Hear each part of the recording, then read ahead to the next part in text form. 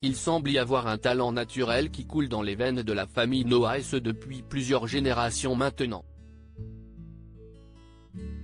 Avant que Yannick Noah ne devienne l'un des plus grands champions de tennis que la France ait connu, son père Zachary était un excellent joueur de football.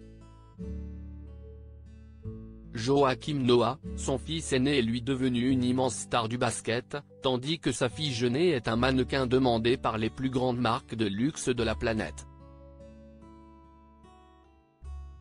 Une famille aux multiples talents donc et qui peut compter sur le petit dernier, Joa Lucanoa pour amuser tout le monde. Le jeune homme de 18 ans est le fils de l'ancien tennisman Edith Camus, productrice à succès, connue pour avoir été derrière la série Un gars, une fille, avec Jean Dujardin et Alexandra Lamy.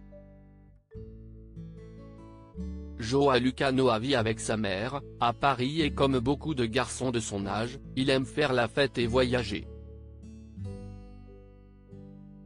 Il a d'ailleurs la chance de beaucoup pouvoir le faire et il y a quelques semaines, il est parti avec sa mère du côté de la Floride pour y retrouver son grand frère.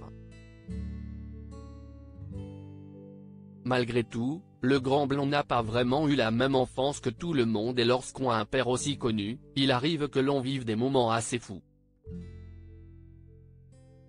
Joa Lucas déjà très à l'aise à la télévision sur son compte Instagram, Joa Noah a publié le 15 mars dernier une vidéo, qui est à retrouver dans le diaporama, de l'un de ses tout premiers passages à la télévision, dans l'émission Vivement Dimanche, animée par le célèbre Michel Drucker. Après une belle prestation de hip-hop aux côtés de Mathieu, le fils de Guy Forget, le fils de Yannick Noah, qui ne doit pas avoir plus de 11 ans à l'époque, répond aux questions de l'animateur, qui lui demande s'il souhaite faire carrière dans la danse ou jouer la comédie. Réponse négative dans les deux cas, avant que Michel Drucker, amusé par ses réponses, suggère qu'il a peut-être envie de rien foutre, ce à quoi Joa Lucas répond peut-être, déclenchant l'hilarité générale sur le plateau, où se trouve également Henri Lecomte.